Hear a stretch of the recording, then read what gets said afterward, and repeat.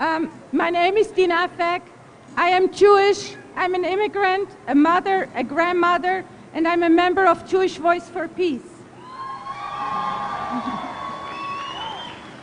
I have called Albuquerque New Mexico home for the past four and a half years.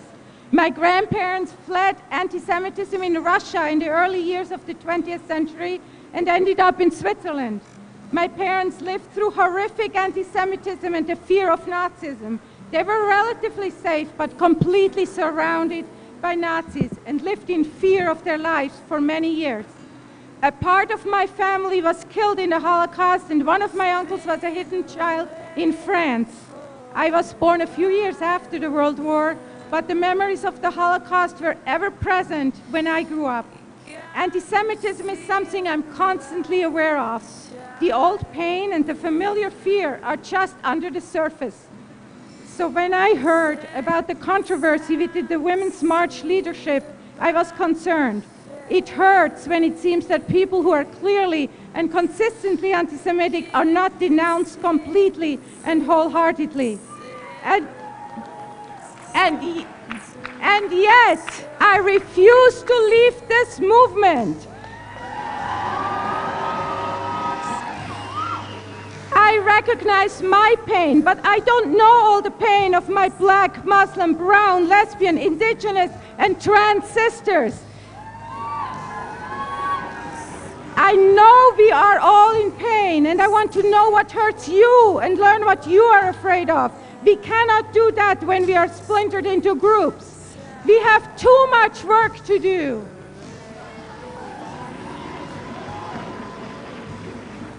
We do not have a blueprint yet on how to lead in a coalition, how to be powerful, and how to work together across our intersectionalities. The models we have are mostly male, white, heteronormative, adversarial, and rooted in greed. We need, we need, we need to figure out what it means to be true to ourselves, acknowledge our unique pain and trauma, and at the same time work towards our common vision to rise up in unity and speak truth to power.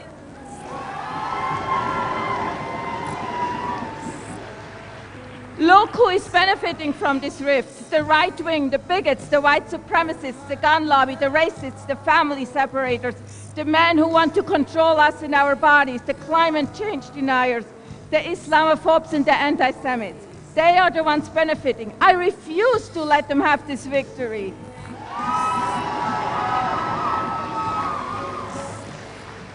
They want us to focus on who is more hurt, whose apology is sincere enough or goes far enough. They like to see our movement divided and split so that we won't talk about what really matters. And this, and this is what really matters. We need to support our sisters who we have recently elected to represent us, specifically Congresswoman Deb Haaland and Sochi Xochitl Torres Small, Governor Michelle Lujan Grisham, and all the other women who hold elected office or work toward the common vision. We need to let them know what we want and hold them accountable. We, we need to let them know that we, we, um, what we fight for is based in values of kindness and generosity, decency and caring, and respect for our diversity. Politics and policies need to be congruent with those values. And this means that we need to put an end to bigotry for good. We want to keep this world livable for our children and grandchildren. We demand immigration reform that respects and cares for all immigrants, no matter the color of their skin or their economic status. We ask you to work to abolish private prisons and end the racist practice of incarcerating so many of our young people of color. We want our taxes to pay for streets and bridges and public transportation and not for weapons to be used to kill and maim indigenous, indigenous and poor people in other countries. We believe that safe housing, healthcare, reproductive rights, and access to justice are human rights. We demand the right to be safe from gun violence in our cities, our schools, and our places of worship. We want you to speak up for gun control and for ending the madness of the so called gun rights. We need for mothers of black children to know their sons and daughters are safe and are not being killed by police just for being black. Black lives matter. And this next point is particularly close to my heart and what Jewish Voice for Peace is working on. We request that you stand up for human rights everywhere, including the human rights of Palestinians and the rights of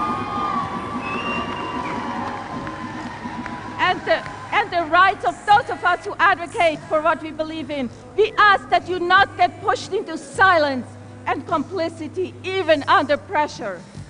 We have to create the world we believe in. We can model kindness and generosity, decency and caring right now, right here. There is no contradiction with these values and taking back our power as women. We can recognize that those who chose not to be with us today are likely making this choice out of pain and fear. We can respect their choices and invite them to work through our differences and stand with us on the issues we share. And I want to sum this up with a slightly adapted quote from Dr. Martin uh, Luther King Jr., who we honor this weekend. The ultimate measure of a movement is not where it stands in moments of comfort and convenience, but where it stands in times of challenge and controversy.